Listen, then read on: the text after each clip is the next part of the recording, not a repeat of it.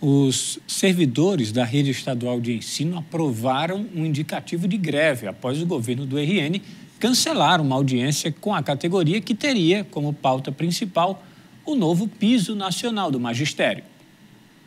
Os professores da rede estadual de ensino do Rio Grande do Norte aprovaram em assembleia um indicativo de greve. A decisão foi tomada após o governo cancelar uma audiência que estava marcada com a categoria para discutir o aumento de 33,24% no piso. O indicativo de greve foi aprovado em função do governo até agora não ter apresentado uma proposta né, de pagamento ou ter dito a forma ou quando, como vai pagar os 33,23% é, do relativo ao piso salarial. Né? Esse, esse valor ele, ele, é estabelecido na lei 11.738 11 que é a lei do piso salarial que define o valor custo aluno, que esse valor é repassado no mês de janeiro para os professores, com o, o, reajuste dos professores. Já o governo do estado, através da governadora Fátima Bezerra, relatou que a lei será cumprida no Rio Grande do Norte. O governo, através da Secretaria da Educação,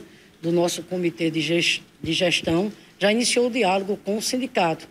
E sim, nós vamos cumprir a lei do piso eh, salarial ah, esse diálogo é exatamente para buscar eh, os caminhos né, eh, que possamos eh, efetivar eh, esse nosso compromisso. Rômulo Arnold deixou claro que nada está definido em relação à paralisação das aulas. As negociações seguem e um novo encontro está marcado, onde os profissionais irão avaliar a proposta do governo do estado. A gente espera que nessa audiência a gente possa ter uma proposta para apresentar no, na segunda-feira para a categoria e aí a categoria vai dizer se aceita ou não. Mas até lá, o que nós temos são informações, né, através de televisão, através de entrevista, de rádio, nós não temos nada oficial.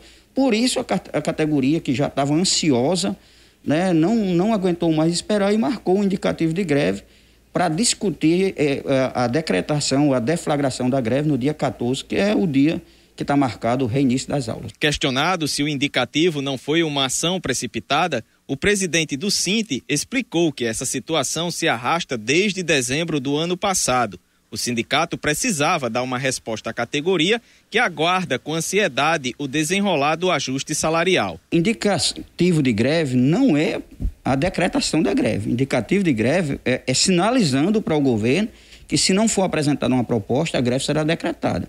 Se for sinalizada, como a, a governadora disse que vai dar os 33,23%, o problema está resolvido, né? Não, não terá greve.